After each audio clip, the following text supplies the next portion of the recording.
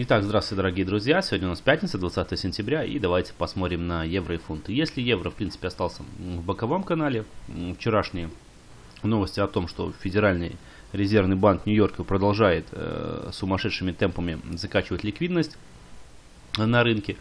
Очередной раунд на 75 миллиардов, что, в принципе, э, можно отнести к количественному смягчению, которое ФРС, в принципе, просто раньше проводила постоянно в рамках программы, то э, и мы видим, что э, пара зависла в боковом канале, так как пока э, трейдеры и экономисты гадают, почему это происходит, с чем это связано, с подходом очередного финансового кризиса, либо с какими-то другими внутренними факторами, и спрос как на американский доллар, так и на евро. Пока видим серьезно отсутствует. Поэтому, э, как только появятся какие-либо новости, какие-либо комментарии, может со стороны ФРС, э, вообще может быть Федрезерв возобновит программу смягчения, все это и будет служить направлением к дальнейшему движению в евро-долларе. А так у нас остается сопротивление 10.74, ложный пробой здесь в первой половине дня после обновления максимума и 18 и 19 сентября сигнал на продажу. Если пробиваемся выше, то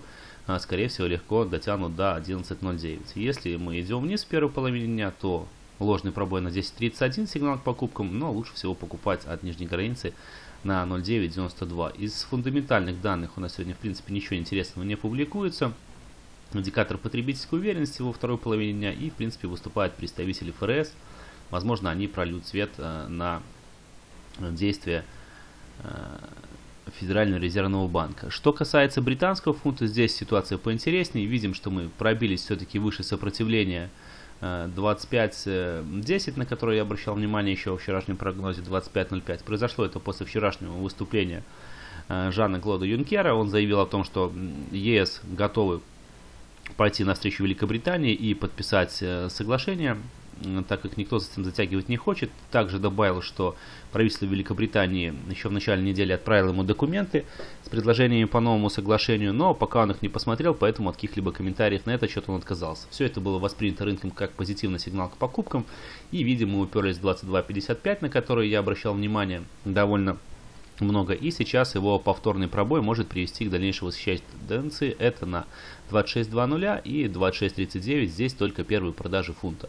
Формирование ложного пробоя с возвратом по 25.55 э, ближе ко второй половине дня. Также будет сигнал на закрытие коротких позиций, так как в принципе заявление Юнкера еще надо э, чем-то подкрепить, а без э, серьезных оснований и более детальных э, нюансов со, по соглашению, которое отправило правительство Великобритании, конечно, рост будет э, умеренным. Но э, видим, что все-таки любит у нас покупать и продавать фунт на каких-то слухах и разговорах, и тенденция развивается в пользу покупателей пока. Возврат по 25.55 может привести к коррекции на 24.75, ну а более крупным уровнем остается 23.97. Здесь можно открывать длинные позиции по фунту сразу на отскок. Всем удачи и хороших выходных.